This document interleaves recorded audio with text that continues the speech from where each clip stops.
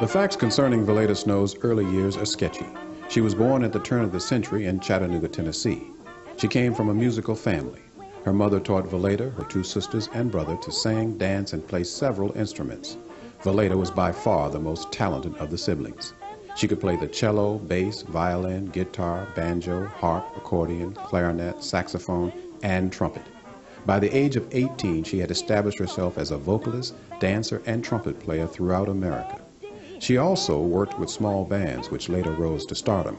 One such band was led by William Count Basie. In 1924, Valaida made her Broadway debut in The Chocolate Dandies, a musical by Eubie Blake and Noble Sissle. The show was a failure. Only Valaida and a newcomer named Josephine Baker received decent reviews. They would remain close friends for years. In 1926, she followed Baker to Europe in Lew Leslie's Blackbirds, but her restless nature soon had her traveling the world with a jazz octet led by drummer Jack Carter. I think that the reason that she did not develop the kind of uh, uh, sort of myth that surrounded other entertainers like uh, uh Louis Armstrong or Ethel Waters uh, was, or Josephine Baker for that matter, um, was because she essentially from the 19, mid-1920s to around 1940, uh, more or less uh, expatriated herself. Not entirely because she did come back to this country, but by and large she toured uh, the Far East and she toured uh, Russia and ran with the international set and was a, a, a a pet of European royalty when they would hang out in places like Rangoon or Burma at the Raffles Hotel.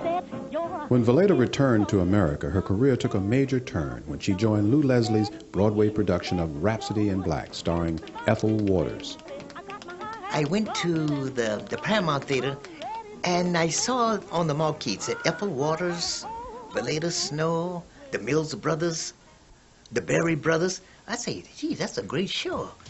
So I went by, uh, got my ticket, went in to see the show at the Paramount Theater, and out came this beautiful lady, Valaida Snow.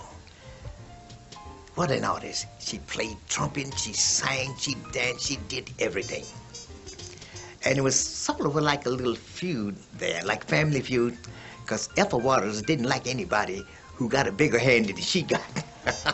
the feud continued for many years, and Valaida headed back across the Atlantic to England to join a retooled production of Blackbirds. The show was a big success. Critics and musicians alike were crazy about Valaida Snow.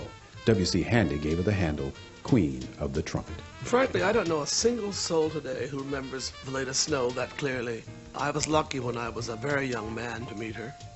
And she was doing her old act. She sang, had a good voice, and then at the end of one of the songs, uh, somebody came out with a pillow, a velvet pillow, on which lay a trumpet.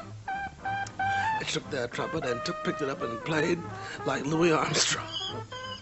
just almost shocking to hear her play it, pick it up and just da da da da. Just, it was brilliant with that.